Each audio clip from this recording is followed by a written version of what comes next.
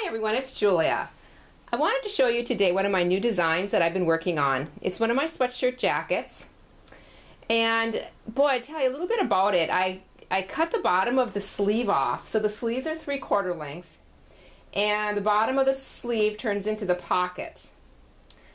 Um, it does have the, the neckband cut off also. And I use the neckband to make the little rosette pin. And I have a another video that I can link on how to make the pin. Um, but it's just on a pin back and it can be put on the lapel or it can be used as a closure. There are no buttons on this particular jacket. It's such a casual thing. Um, you can also dress it up with a long skirt. I find it's been very versatile and, and I've had really good luck selling it both in my Etsy shop and also in my flea market shop and some I've had them at, a, at one craft show too, and it and they weren't they went really well. So it's just because I think it's just a little bit of a different look. So I am going to show you just the basics on how to do this. It's a very simple sewing technique. And I think that if you have a have a sweatshirt at home that's just kind of plain and you just want to, to try it, it's it's certainly doable. So I hope you enjoy this. Um, let's go to the cutting board first. Okay, some of the things you're going to need for this sweatshirt is a sharp scissor. I think there's more cutting than anything else, more cutting than sewing anyway on this shirt. Um, I, I do have like a pattern that I that I traced out that works well for the pocket and I will um, put it put it on my a free downloadable on my blog so that if you don't want to do your own pattern you don't have to and I'll link that down below you need your sweatshirt. This is a com comfort color sweatshirt and I do get them online. I will link that also. These are really nice sweatshirts. They're pigment dyed, tons of different colors. This one happens to be their denim, which has been a real popular color.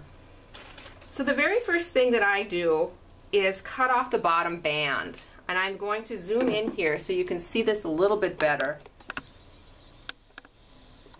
on the bottom band on this comfort colored sweatshirt, there's one side that has a seam. There's actually only one seam in this whole band. So I cut up alongside of that seam and then I'm going to actually cut right above the stitching on this band. You see that? And I'm going to cut this whole band off. Okay, I have the band completely cut off. I do not throw these bands away. I do make scarves out of these. Actually, four of the bands make one scarf. And I will do a video on those. I do four. I use four different colored sweatshirt bands, so they they turn out really cool. So I will make a, do a video on on that if anybody's interested. Okay, the next thing I cut off on this sweatshirt is the neck band. And this one, again, there's only one seam, and I start at the seam. Right there is the seam. But this time I'm going to cut above the stitching. I want to keep that intact. Whereas on the bottom band, we cut that off. So I'm just going to cut, carefully cut above I'm going across the back now. I don't want to cut off the little tag either. I want that to stay on there so I know what size it is. So I'm making sure that that's not in my cutting way. And then there's you're going to come to a stitching line and I want to stay above that line. That way the collar, even though this is cut off, it's it's some it's finished off enough so that it doesn't look unfinished with that with that stitching line on there.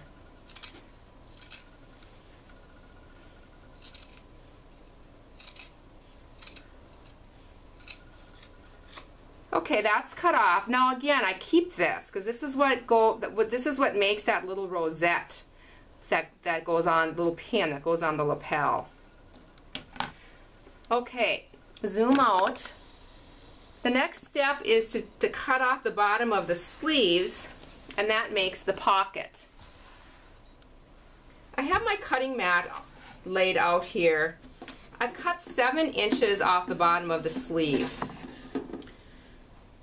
And so I'm going to line this up and this top edge of your sleeve is straight. The bottom edge is not. You can see that the bottom edge has a slant. And so I want to, line that top edge up so that it is parallel to one of the lines on my grid here. And then just measure off the seven inches and cut. I should have a mat. Actually, I'm just going to use my scissor because I can see the line all the way through here. And I am just going to cut this off. Okay, and now, once that's cut off, I can just line up the sleeve and cut off the bottom of the, uh, excuse me, cut off the other one. Just by lining it up and making sure that they're the same. And do the same thing and just cut. Yeah, this is kind of scary because we're cutting the sleeve, but it's okay. And that part's done. One more stitching or cutting thing to do, and that is to cut right up the center. Zoom out again here a little bit.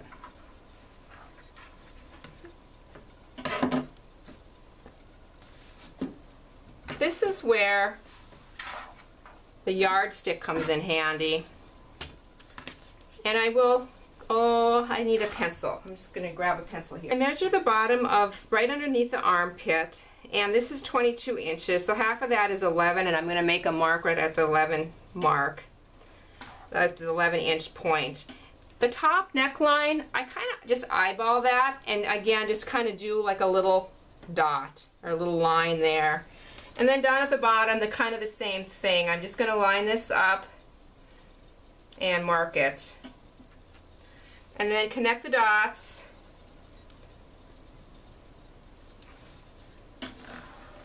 And then cut.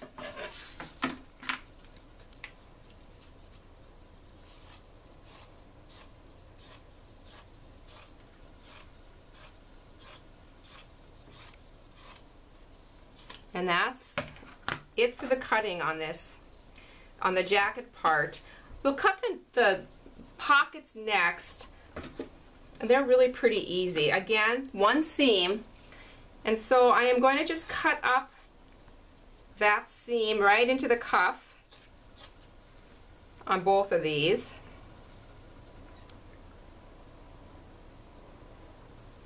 Let's see here. And once that is is done, then I take out my pattern. I lay it onto the pocket and then just kind of, I mean, it's not going to be an exact thing, but I just want to kind of round this off um, to make it to make it more like a pocket shape.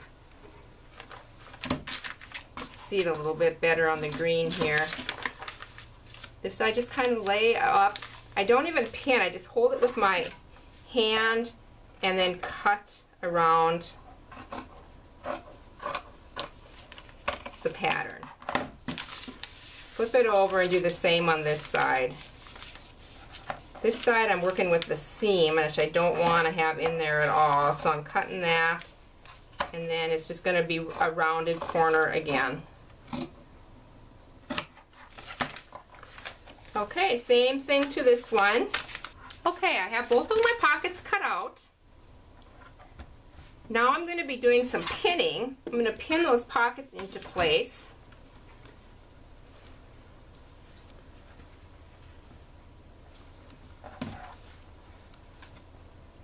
I usually lay my pockets so that they're about an inch and a half from the bottom and also about an inch and a half from the center front. And if it overlaps a little bit on the side, if you can see that or not, if it overlaps a little bit on the side, that's okay. It's it's not going to be it's not going to matter if you if you notice on jackets a lot patch patch patch pockets they do a lot of times go to the towards the back a little bit. So not a big deal. I'm just going to put a few pins in this one. Um, and then I'll do the same to pocket number two. Okay, the last thing that I that I um, pin before I take it to the sewing machine is I take a little tuck in the bottom of this um, sleeve. It just gets too big. Once you cut that much of a end off, it's just kind of baggy. And so I take a tuck, about a half inch tuck. Let me zoom in again here.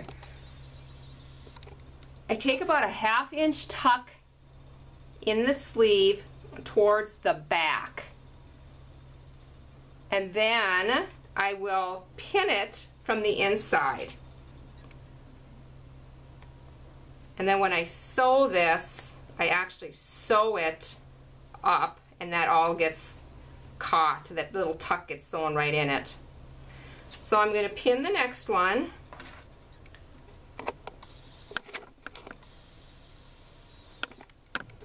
Okay. All pinned on. And now it's to the sewing machine how I sew this is I just do a stitching line all the way down and all the way around the bottom on both sides of this. So I'm going to start up here, I'm going to go down, I'm going to go around, and I'm going to end up on this side.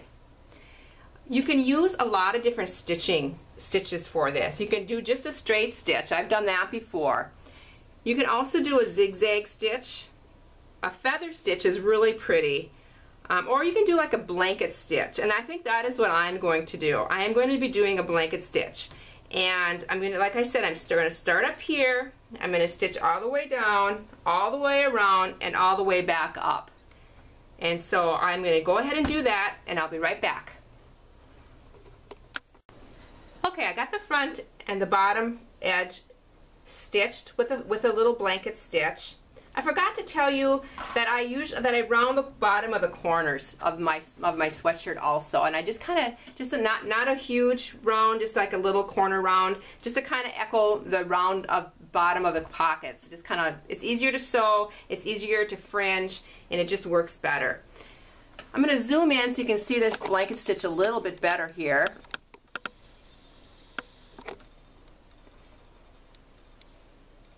Yeah, it's really cute. It's just like a little, little decorative stitch. Okay, next we're going to be working on the pockets and I'm going to be stitching those. And I'm going to be using the same stitch and I'll show you a little bit of a little bit of a difference. Notice how this top part has the cuff. I'm going to sew right on the very edge of this. And once I get that done, I'm gonna then I'm gonna set my sewing machine in and stitch all the way around at the 5 8 inch seam. So I can fringe the bottom of the pocket too. And once I get it sewn, I'll show you, you can be able to see it a little bit better. So that's next. I have two pockets to go. Okay, the pocket is done. I went the, and did the edge stitching right along the top of the pocket I also took my zigzag and I reinforced this. This is a real heavy stress point right here on the top of the pocket. And then I set my foot in so I still have this little area here that I can fringe. And I just did a 5 8 inch seam or edge, edge stitch all the way around the bottom of the pocket. And then again on the top, right at the edge, and then I did my little zigzag. So the last thing that needs to be stitched on this is the bottom of the sleeve. And to show you how I do that, I, I actually turn this whole thing up and I stitch the whole thing at when it's rolled up like this. I take my presser foot and I and I sew right where the so the pressure foot is right at the bottom edge of the zipper and I'm going to use that same stitch. And then what will happen is I'll have this top part that I'll be able to fringe. And the, the sleeve will be permanently rolled up. There is a tuck in here remember in the center of the front. Top of the sleeve and that again I, my pressure foot is going to go right over the top of that tuck. So it's all secured and it's all permanently rolled up so then I can go ahead and fringe it. So I'm going to be doing that next and I'll be right back. Okay, the bottom of the sleeve is done. It's stitched all the way around right over the top of the tuck. So the last thing that I need to do on this is turn back the lapels and tack them down. They're permanently also tacked down and that I sew with just a regular sewing machine, just regular stitch. But this goes down and I just kind of eyeball how I how I would like it to, to lay. Kind of get them even and then just go ahead and pin on both sides and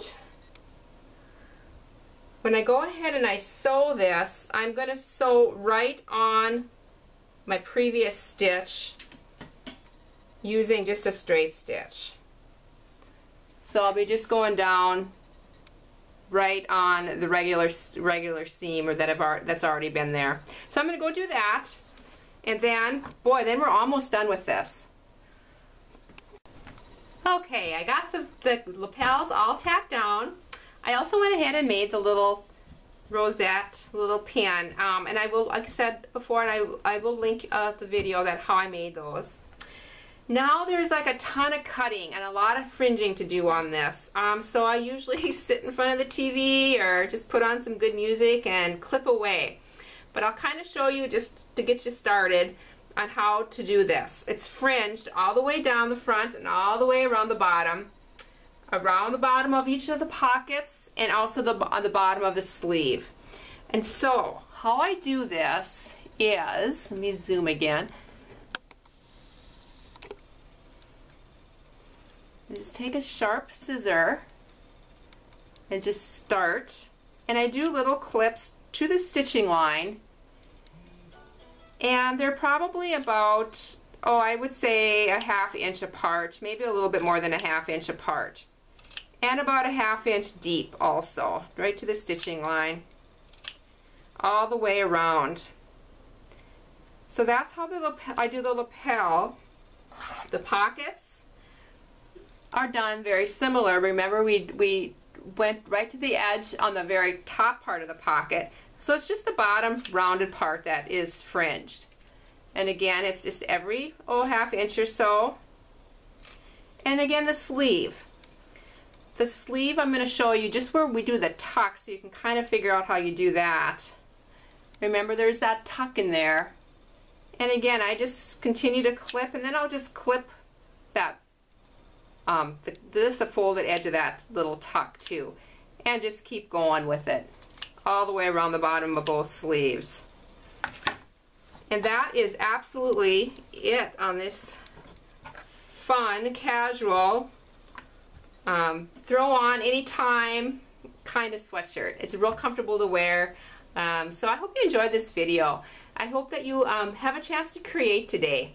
Take a look at the other video with the with the rosette and just yeah enjoy your day. Thanks so much for watching. Bye.